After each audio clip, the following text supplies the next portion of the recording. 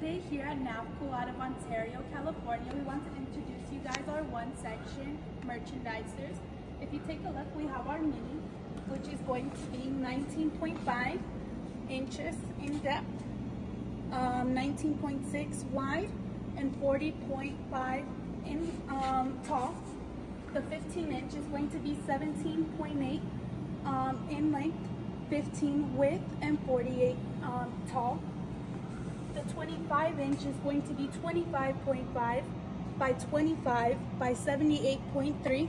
And last but not least, we have our 28 inch, which is 27 by 28 by 80.8. All of these refrigerators have LED lightings on both sides.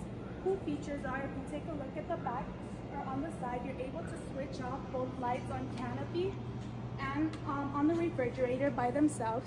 You have a switch for each on each refrigerator.